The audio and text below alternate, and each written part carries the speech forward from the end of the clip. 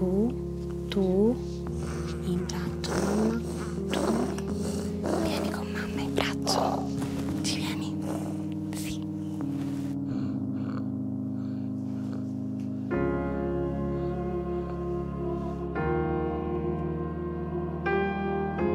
Emanuele ha tre anni, è un bambino molto allegro, come si sveglia la mattina subito sorride, è vispo, è mm, curioso di quello che ha intorno e soprattutto non sembra soffrire di tutto quello che non può fare.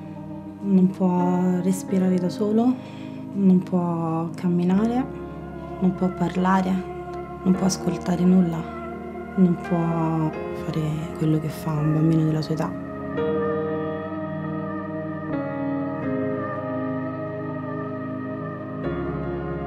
Durante le notti che ero in ospedale con lui ho cominciato a disegnare quello che avevo nella testa, le sensazioni che provavo avendo Emanuele accanto. Ho disegnato un mostro terribile che lui si porta dentro, che è una parte di lui e che lo attacca, che lo aggredisce. Ci sono dei momenti in cui ci siamo guardati negli occhi io e questo, questo mostro e anche io ho tremato parecchio.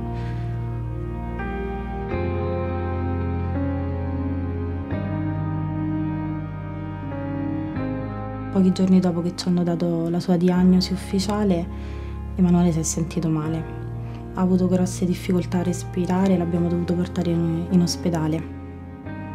ospedale. In quel momento ho pensato seriamente che Emanuele volesse mollare e mm, mi ricordo che mi sono avvicinata a lui e gli ho detto che volevo che continuasse a lottare, ma, ma che se voleva rendersi andava bene così. Poi si è risvegliato e ha sorriso. Ed è stato bellissimo perché ero certa che non voleva mollare. Scoprire che lui non poteva sentire tutto quello che gli succedeva intorno, non poteva sentire la mia voce, è una cosa che mi ha sempre fatto molto male.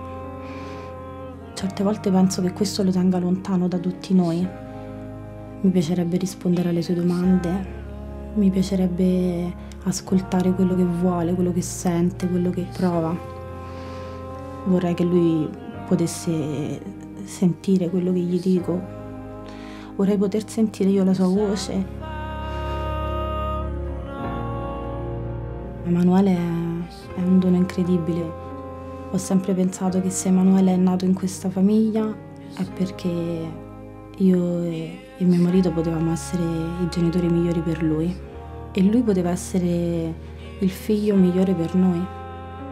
Emanuele Di Bello ci ha portato una grande unione come famiglia. Non abbiamo mai pensato di chiuderci nella sofferenza di questa cosa, perché nonostante la sua malattia, la nostra famiglia può essere felice. Io posso essere felice, Emanuele può essere felice. Non lo so per Emanuele che mamma sono. Spero che lui mi veda come una mamma forte. Spero che quando lo prendo in braccio lui si senta protetto.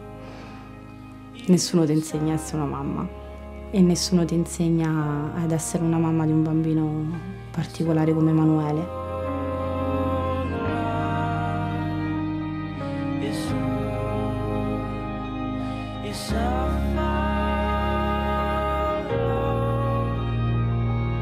So